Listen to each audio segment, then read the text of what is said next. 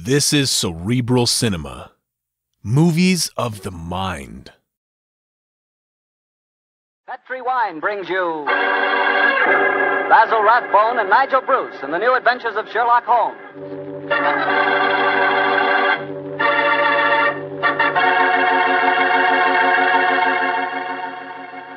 The Petri family, the family that took time to bring you good wine, invite you to listen to Dr. Watson tell us another exciting story about his good friend, that master detective, Sherlock Holmes.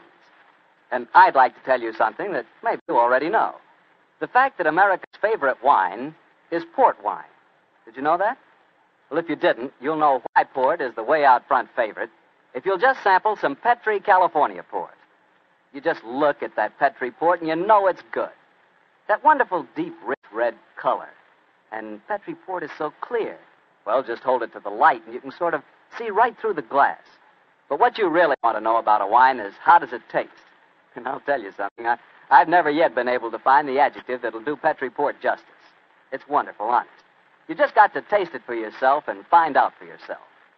You love that Petri port in the evening after dinner when you're sitting around listening to the radio. And it's perfect to serve your friends when they come over. Oh, and you can show that Petri label, too. In fact, you can show it proudly. Because the name Petri is the proudest name in the history of American wine.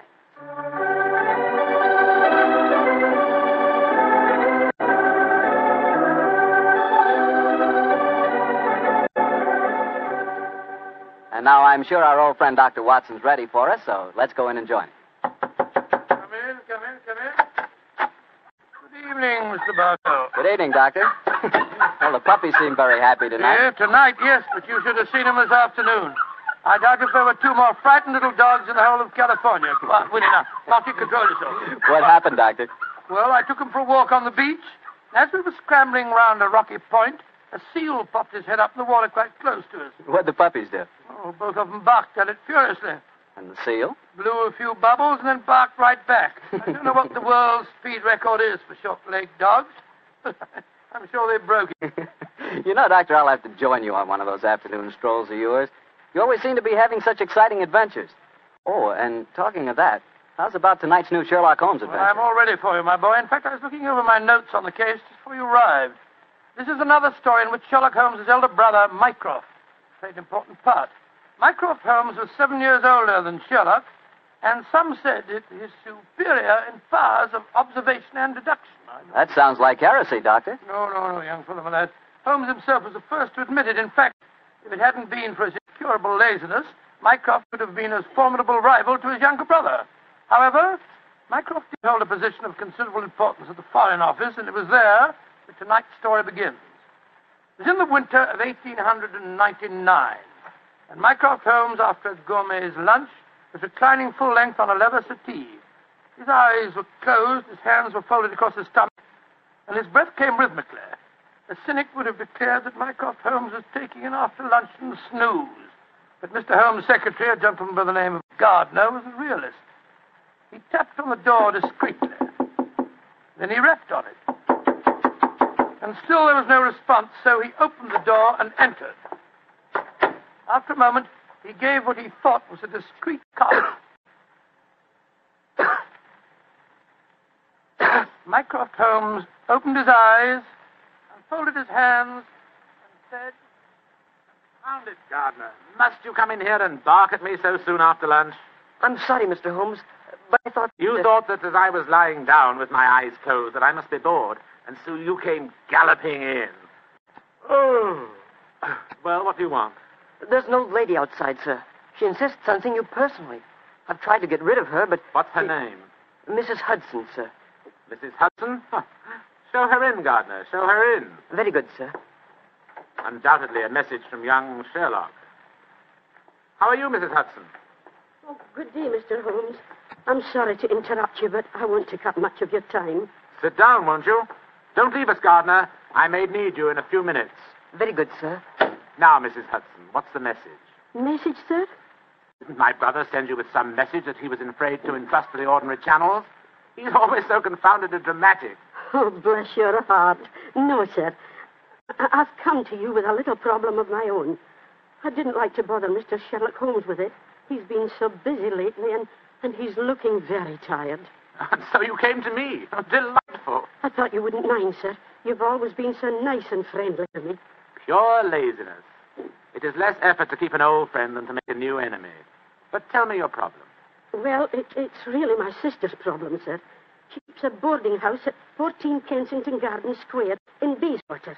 And she's convinced one of her boarders, a, a man who has a room on the first floor back, she's convinced that he's a birdman. And what in heaven's name is a birdman? Do you know, Gardner? No, sir. I can't imagine. Oh, it's like a werewolf, gentlemen, except that the man turns into a bird. Oh, come now, Mrs. Hudson. Oh, I know it sounds daft, but my sister's in a dreadful state. Of course, I've been with your brother long enough, sir, to know that such things are nonsense.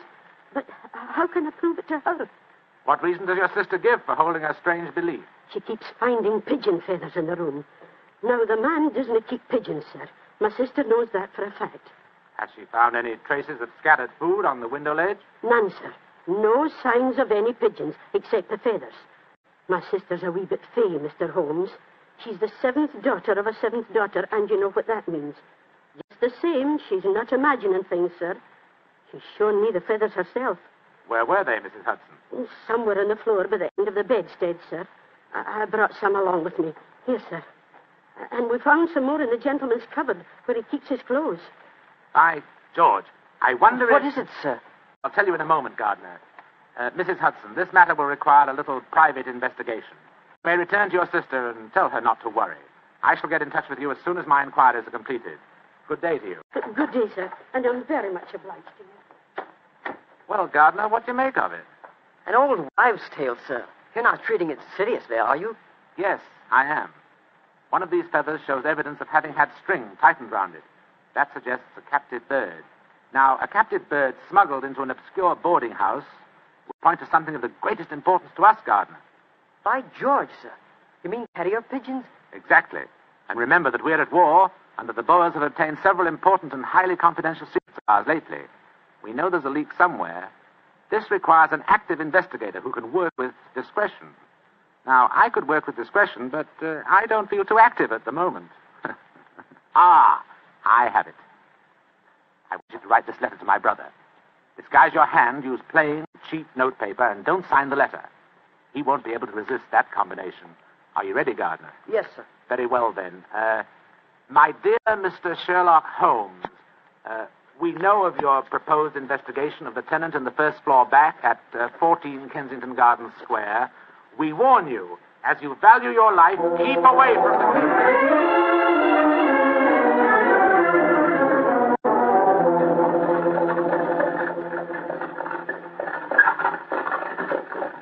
We warn you, as you value your life, to keep away from the case. And that, my dear Watson, is why we are driving towards 14 Kensington Garden Square, disguised as building inspectors of the London County Council. Well, I must say it's a very challenging letter, Holmes. Unsigned, Yes. I notice. Written on cheap notepaper and in a disguised hand. No clue there, I'm afraid. Well, we're, we're entering the square, Holmes. Uh, let's stop the cab here. Uh, you can drop us here, cabby. Right, sure, Governor. It would seem a little incongruous in these costumes for us to arrive in a cab. Yes, I suppose so. Here you are, cabby. Oh, thank you, Governor. Supposing this mysterious tenant of the first floor back should be in his room when we get there. We must hope our disguises are convincing and keep our wits about us. Now, this may be a trap. Yes, just what I was going to say. After all, you've never heard of 14 Kensington Gardens Square until you received an unsigned letter two hours ago warning you to keep away from it. I don't like the look of it. There we are, number 14.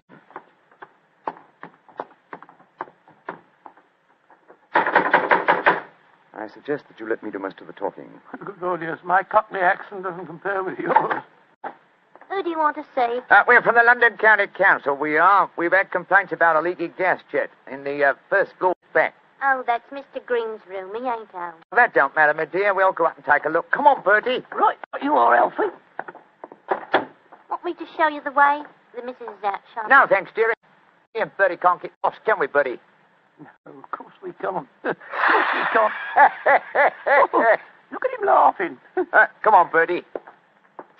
Oh, I do like to be beside the seaside. Uh, oh, I do like to be beside the sea. Uh, Pilly-um-pa-pum-pum, pilly-um-pa-pum-pa-pum. Nice house, Bertie, ain't it? Yes, Elf. Nice as can be, this house. Oh, I do like to be beside the seaside. there. I do like to be beside us. Here we are. First full back. Better make sure the bloke ain't home. Oh, I do like to No, be no, beside he ain't home, Alfie. Huh? No, well, all right. Let's go in. Oh. So this is the mysterious room, eh? Well, it looks perfectly ordinary, doesn't it? Yes, a pressing example of the squalor of boarding house life. Hello. What's this on the bedspread? Fellows, must have come out of the pillow. No. These are pigeon's feathers, old chap. Look here, Watson. Attached to the bed rail. No, that's only a piece of string. String, yes, but with a small metal ring on the end. A ring such as is used to place around a homing pigeon's leg. But why should someone keep carrier pigeons in an obscure boarding house like this? Why indeed, why indeed? The answer could be that the tenant of this room is engaged in some sinister activity that requires the use of carrier pigeons in sending messages. Yes, there's no evidence of the birds being kept here. That's true, old fellow, that's true. Uh, possibly the owner of this room is given to is given a pigeon by one of his superiors, brings it here, affixes his message, and releases the bird. But why couldn't he just take the message to where they keep the birds? Well, in that way, he would run the risk of being picked up with uh, dangerous and incriminating, incriminating messages on Well, him. what kind of skullduggery involves the use of carrier pigeons, you suppose? We're at war with the Boers in South Africa, Watson. What could be more logical than that a spy in their pay should be using this method to smuggle important information out of the country? By Jove, yes, Holmes, I wouldn't mind being the... Somebody coming. Look out. Who are you? What the devil do you think you're doing in my room? Well, my name's Bertram, and I come here to look at your gas pipes. No, don't lie to me. Who are you? It's like I say, Captain, my name's Bertram, and I come from the London County Council. Uh, very well, then. If you won't tell me the truth, perhaps this revolver will make you change Now, your look mind. here, Captain, look All here, right, Watson, Captain. there. Uh, grab his revolver, Watson. Yes, right. Holmes, where were you? I slipped behind the door as this gentleman opened it. Yeah, me, sir. Your overcoat coat seems extraordinarily well filled with chest, doesn't it? Why not slip it off? Yeah. It's a bit warm in here. Uh, let me alone. Joe, we, you were right, Holmes. He had a pigeon under his coat. Uh, yes, see if you can catch the bird, will you, old All chap? right, here. Come on, Pidgey. Pidgey, come on, come on, little fella. Come along, Pidgey. There he comes. That's it. Look at the little fella. Snuggled up on my arm. Friendly little fellow, isn't he? Yes, I... Look out, Watson. The gentleman's revolver. He's Yes, going and when it. I get it, I'll... A beautiful uppercut, Holmes. I'm, uh... I'm afraid he'll be unable to talk to us for some time. How fortunate he told us where the message was hidden before we indulged in this little set What do you mean? He didn't say anything about a message? No, not verbally, but I was watching his reflection in the mirror as he entered the room. His eyes first glanced at this top drawer on the dresser here to see if we touched it. It was obviously the most important spot in the room. Let's see. Ah, here we are. A message already rolled up and in its container. Oh? What does it say, Holmes? It's in code, which is not surprising, but I don't think it will be very difficult to decipher. Yes, and when you've done that? Then, my dear fellow, I shall compose a code message of my own and persuade this pigeon to lead us to its master.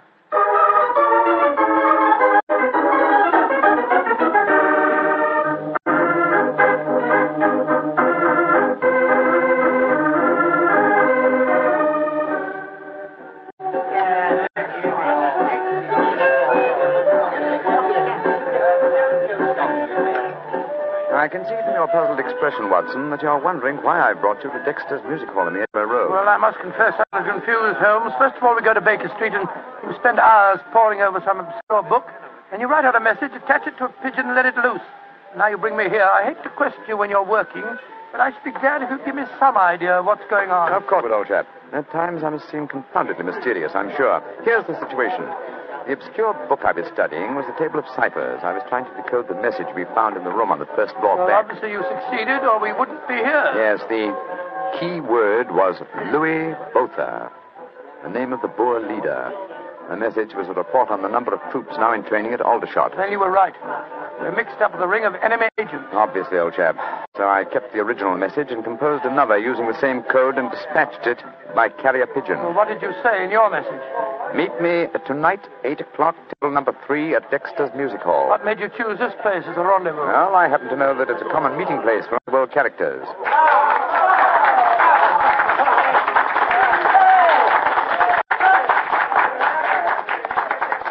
And which is table number three? The one over there in the corner. I reserved it. Then why don't we go and sit down there instead of standing it here at back? I thought we'd give our visitor the opportunity of showing his hand first. He won't be expecting Sherlock Holmes and Dr. Watson, I fancy.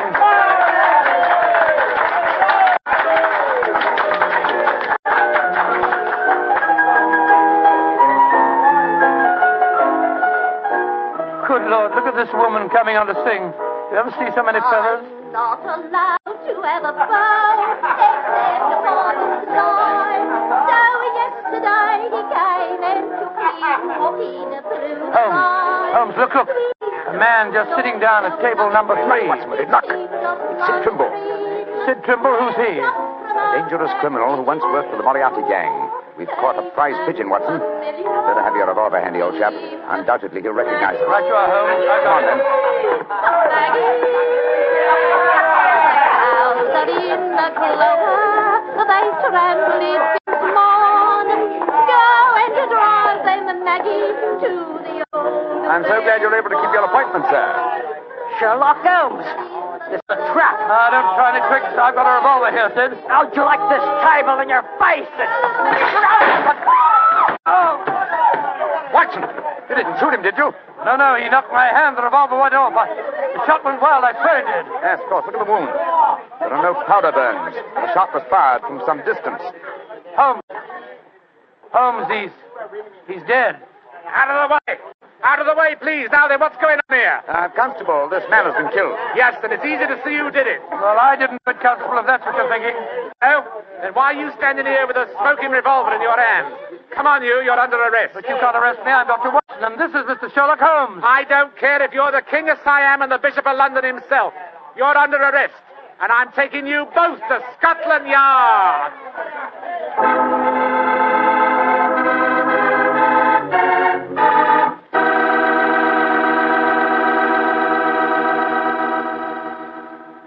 You'll hear the rest of Dr. Watson's story in just a second. And if you don't mind, I'll take that second to say just one word to the ladies. And that word is muscatel. Petri California Muscatel. I want you women to know about it because Petri Muscatel is one wine that practically every woman likes. Maybe because it's such a beautiful color, like, well, like pale gold. But I guess really because Petri Muscatel brings you the wonderful flavor of luscious, sun ripened muscat grapes. And that's a flavor. Try Petri Muscatel after dinner or any time as a change from Petri Port. Have a bottle of each on hand. When you buy Petri wine, don't buy one, buy two. Remember, if it's a Petri wine, you know it's a good wine. Dr. Watson, that was really one for the books. So you got yourself arrested on a murder charge. Yes, Mr. Bartell. It's a humiliating experience. I was taken off to Scotland Yard in the Black Maria. Just like any common criminal.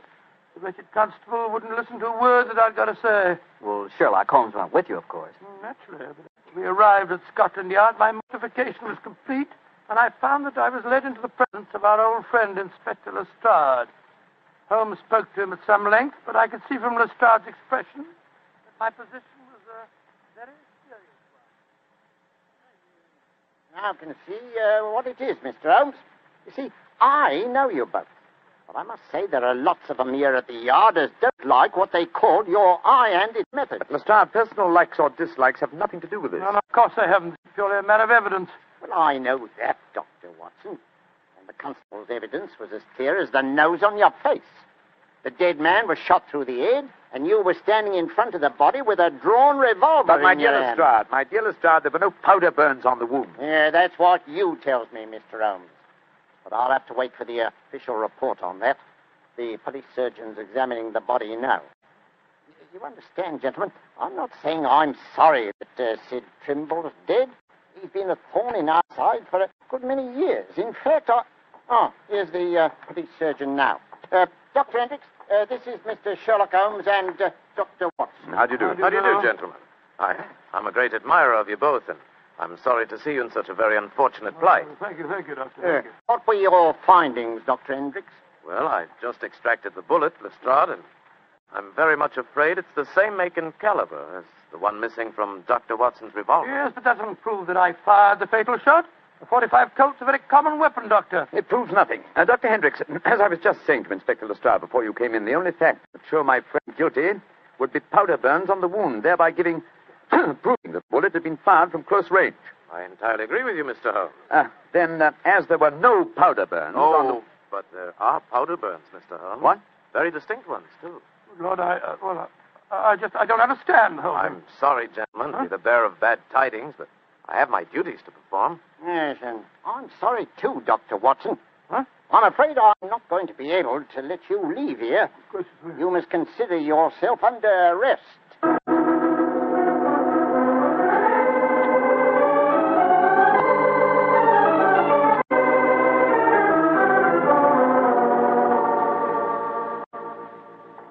I never felt more despondent in my life. Oh, cheer up, old chap. Well, how can I?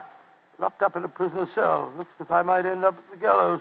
Don't worry, Watson. You'll be out of here before the night is over. I promise you that. I wish I felt as confident as you do. How do you propose to do it? Oh, with the aid of a little hard thinking. Thinking. That won't unlock any cell doors, thinking. But it will, old fellow. It's obvious someone's deliberately trying to incriminate us. Let's try and reconstruct killing logically. Hmm? Sid Trimble was a member of an espionage ring. I sent him a false message.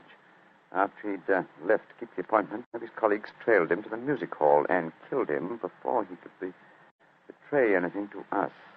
Yes. Yes, that's undoubtedly the way it happened. The powder burns, Holmes. How do you account for them? There were none just after the shot was fired. We know that. And yet Dr. Hendricks assures us that there are very distinct powder burns now. May we come in, gentlemen? Yes, yes, of course you can, Dr. Hendricks. Oh, hello, Lestrade. Yes, I thought we'd come and uh, chat with you, Doctor. Well, that's, that's very nice of you, gentlemen. Yeah, not a bit of it, Doctor. You know, it, it hurts me to see you in here, and that's a fact. And I can't bear to see a fellow medico in such plight without coming in to see what I can do to help Watson. Yeah. You're very quiet, Mr. Holmes. Am I, Lestrade? I was thinking. You see, uh... what, old chap? I have it. You have what? The answer. You'll sleep in Baker Street tonight after all. Mr. Holmes, what are you talking about? The murder of Sid Trimble. The incriminating powder burns were obviously faked. Watson and I know that, whether you and Dr. Hendricks believe it or not. The question is, how were they faked? I think I have the answer. Uh, Dr. Hendricks. Yes, Mr. Holmes? If a blank cartridge were fired at the wound after death, it would produce powder burns, wouldn't it? Undoubtedly. Yeah, but uh, who could have done that, Mr. Holmes? Ah, that's the point, Lestrade. Who had the opportunity? The constable who brought the body here. True, old chap. Also, you, Dr. Hendricks. That's perfectly true. Yeah. Well, I had the opportunity too, Mr. Holmes. I spent half an hour in the morgue alone with the body when it first come in. Well, you've narrowed it down to three suspects, Holmes. I hope I don't hang before you find the real killer. I've found him, Watson. Why, What? who's he, Mr. Funny. Holmes? The answer is simple, Lestrade. The powder burns were certainly faked by a blank cartridge.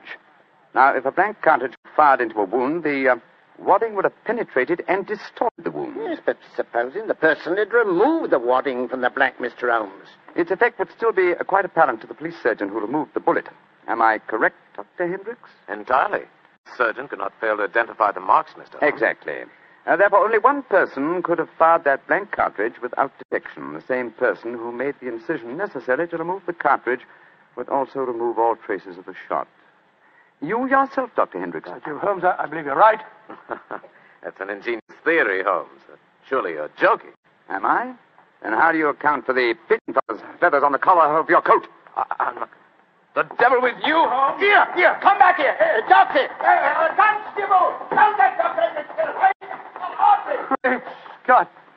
Scotland Yard itself harboring an enemy agent. Upon my soul, Holmes, you've done it again.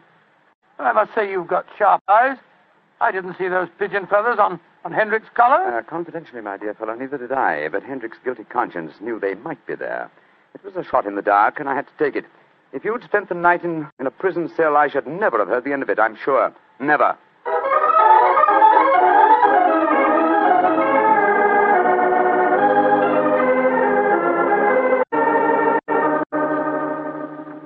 I I want to see Mr. Mycroft Holmes, please.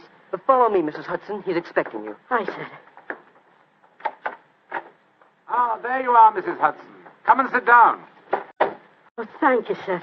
I, I got your message and came over right away.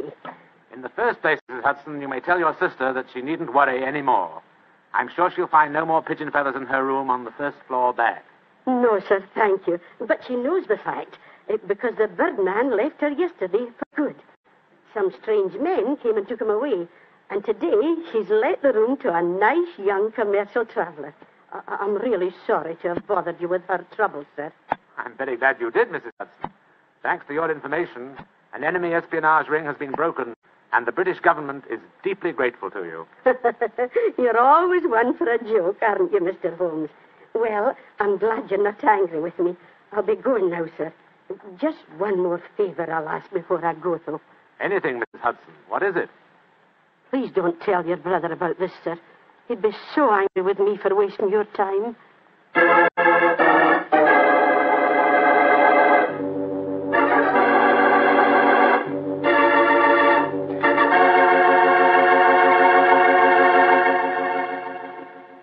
Well, Doctor, that was really a swell story tonight.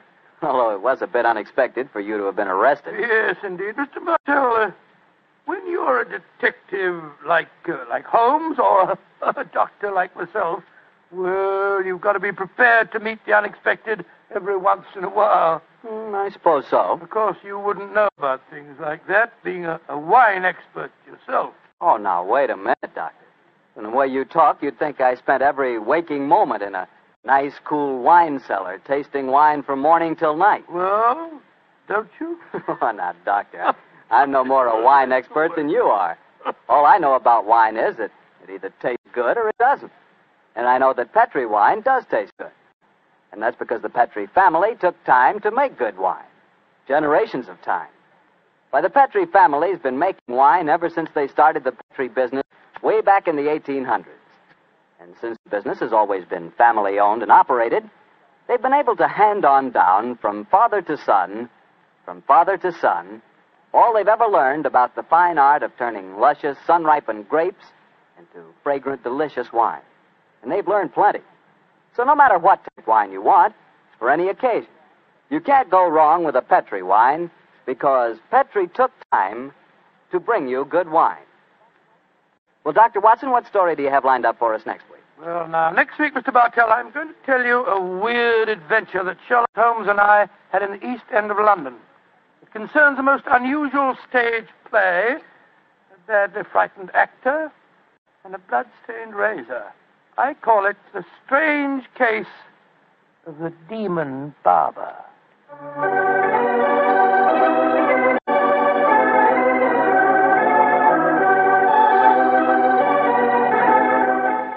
Tonight's Sherlock Holmes adventure was written by Denis Green and Anthony Boucher and was suggested by an incident in the Sir Arthur Conan Doyle story, The Greek Interpreter.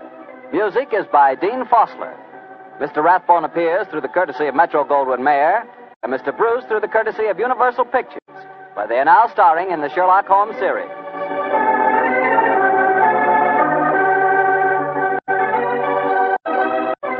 The Petri Wine Company of San Francisco, California, invite you to tune in again next week, same time, same station. Sherlock Holmes comes to you from our Hollywood studio. This is Harry Bartell saying goodnight for the Petri family. For a solid hour of exciting mystery dramas, listen every Monday on most of these same stations at 8 o'clock to Michael Shayne, followed immediately by Sherlock Holmes. This is the Mutual Broadcasting System. Cerebral Cinema hopes you have enjoyed this movie of the mind.